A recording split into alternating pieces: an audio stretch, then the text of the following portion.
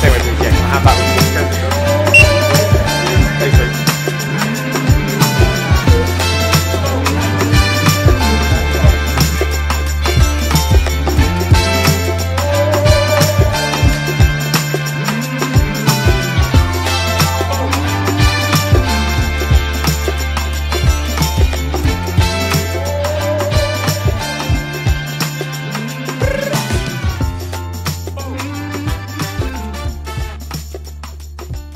Run done, shower done, and breakfast consumed, and I'm feeling good. It's just about 9 a.m. right now, so I managed to box off 13 kilometers in one hour and six minutes with an average pace of five minutes eight kilometer, which is my zone two, which is basically 141 beats per minute. Go away. My penultimate kilometer I went really fast. So I did like easy run into a three minute 34 kilometers. So that's quite good. Anyway, the entire run I was trying to nasal breathe. You probably saw I had one of those nasal straps on me. That essentially opens up my airway so I can breathe better through my nose. And they say it gives you like a 20% increase in breath, well, 20% better um, nasal breath, if that makes sense. But anyway, I've been speaking to a lot of people doing a little bit of research and finding out that nasal breathing is actually essentially better for you they say in terms of facial shape, it can structure your jawline better. It can essentially you get more capacity and oxygen out through your lungs because you're actually exhaling carbon dioxide. And when you breathe out through your mouth, it's not as good for you. You get more out from your nose, and you get you can fill your lungs up more when you breathe in through your nose. So I'm trying to execute that better on my runs, and hopefully I can take that into my races as well and only in the future do nasal breathing with no out breath on my mouth or in breath in my mouth. I'm on that verge of on my easy runs of being able to do it but not when I push at 330 kilometers I'm perfect. Oh, I also forgot to tell you, I'm in for the Cambridge Half Marathon. Now it's less than a month away. It's on March 3rd on Sun, uh, Saturday, March 3rd, and I'm or is it Sunday? Uh, one of the days anyway. I am super excited for it. So running is going up and I'm going to try and hit a good good PB. Let's go.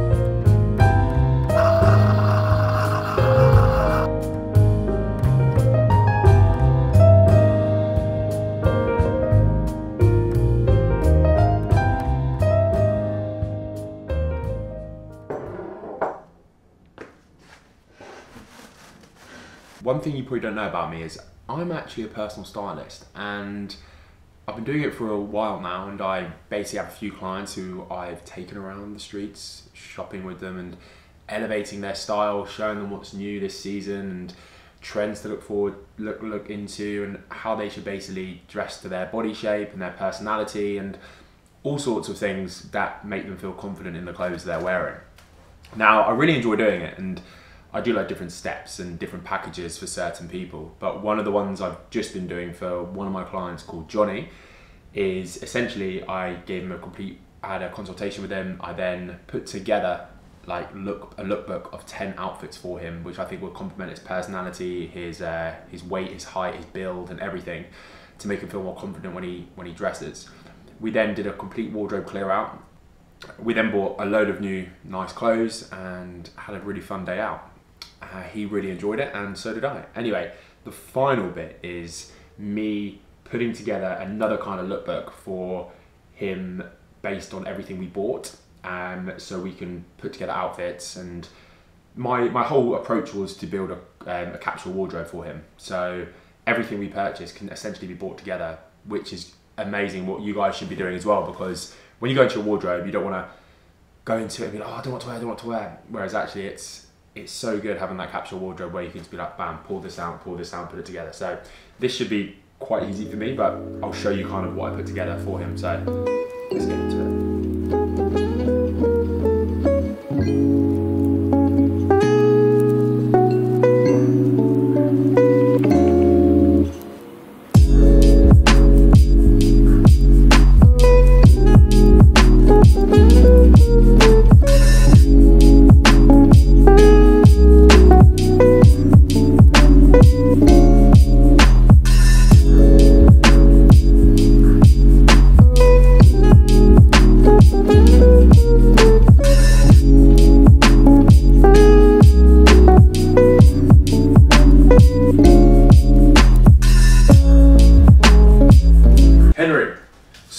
Shopping for yourself.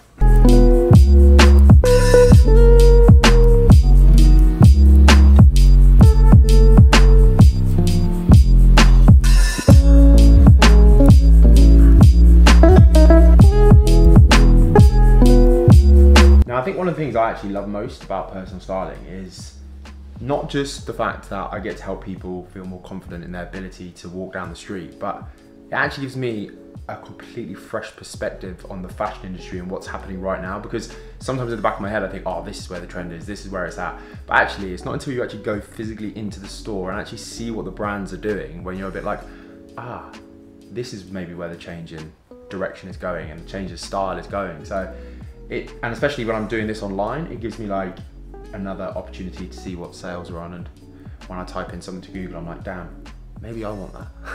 but no, no shopping for me.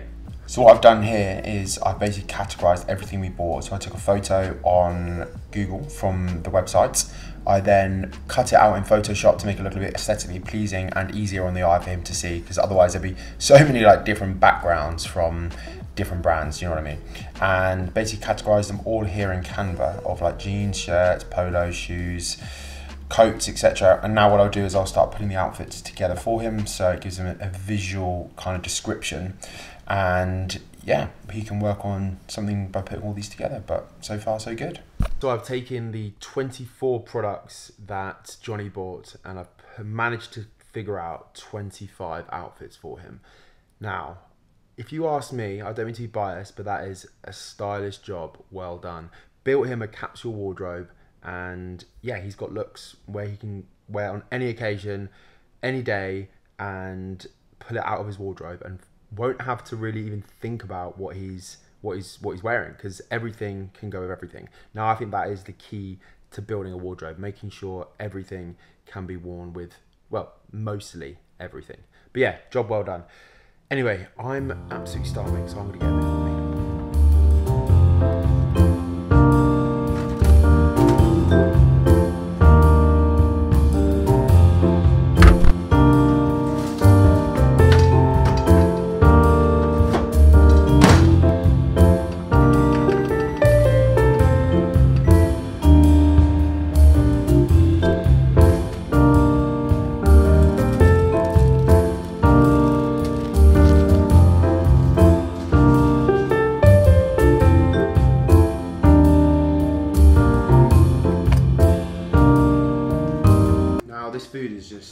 so good. It's macro friendly. They've tailored it towards my nutrition and my goals. And it tastes bloody lovely. Oh, and this is chipotle spice salmon, charred corn, tomato salsa, brown rice with a lime wedge. Now, I will do a live taste test if it's not too hot and if I don't burn my mouth off because I put far too much sriracha on, but we'll go.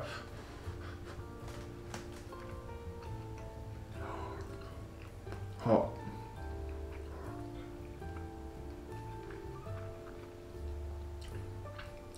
Insane. I remember the days at uni when I used to eat chicken, rice, and broccoli, and it was like frozen chicken.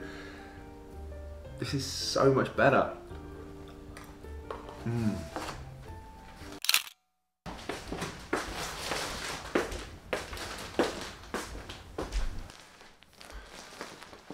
No,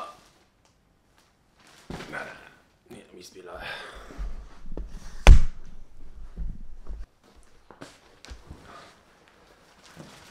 Better. So me and Carmen went shopping in the weekend, and we were shopping for new things like a new speaker for the um, for the kitchen area. We also wanted some new curtains because we realised the colour we currently have are just oh, let's just say very dated, bit shocking, and not that suitable for this room. So we decided to get some new ones, and we just went for a simple grey. I mean, nothing exciting. This isn't our house. This is obviously rented, so we want to make sure the house is a little bit ours, but we also can't change too too much. So we just got these ones from John Lewis. They are weave pale grey, and they've got a textured finish to them, so much nicer than the uh, the grubby ones we currently have, which are just this horrible blue. And they just don't go with like the peach or the kind of pinky tones we have here. So I think it would just be a lot nicer. And when they're up, it means we can like have fun with like things like the flowers because at the moment we have some white rose, uh, yellow roses, and we also have like a colourful set of roses and flower set on the table, which I think I showed you at the beginning. But it doesn't really work with the blue, and the blue is the only thing in this room that just is off-putting. So I'm going to put them up now, and hopefully Carmen will like them when she comes back from work. So let's go. They've even gone. Like the colours even changed.